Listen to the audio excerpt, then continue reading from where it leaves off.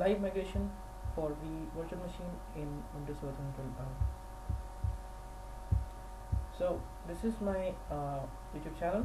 You can subscribe. You can see it's it's uh, you can see the channel mm, see and then you can type my name and you can subscribe. So you once you like the video so you see a lot of videos over here regarding the servers as well very very popular.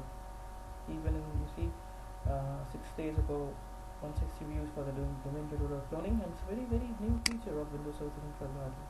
So let's start now. You see uh, in the previous video we have created a test cluster VM and we have even configured uh, Hyper-V clustering um, clustering for the Hyper-V. So next now we will be performing the live migration so that's what we are here for. So you see I will, I will just uh, and just to go to the uh, host 2 ptr in. So I will just show you. Host 2 is here. So this is the Hyper-V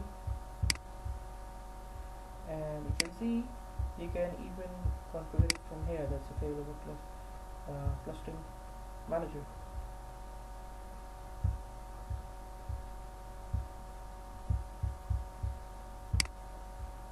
You have roles and I would like to show you in full screen mode.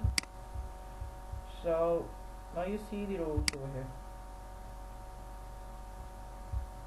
What you can do you can right click over here and you can click on move and you have option of the quick migration and live migration. The quick migration is not as you know it's it's, it's it works in a safe uh, the safe mode safe state mode and uh, live migration it's in running position also. It works very nice and it does it and you see it in front of you. I will select mode now and I want it non-host to. So that's a destination you select the destination node for the live migration. So that's I want it in the same server. So live migration is started.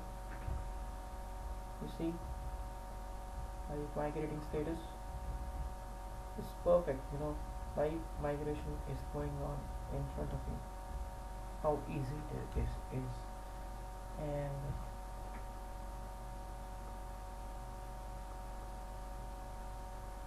you can see we can wait until uh, it's finished.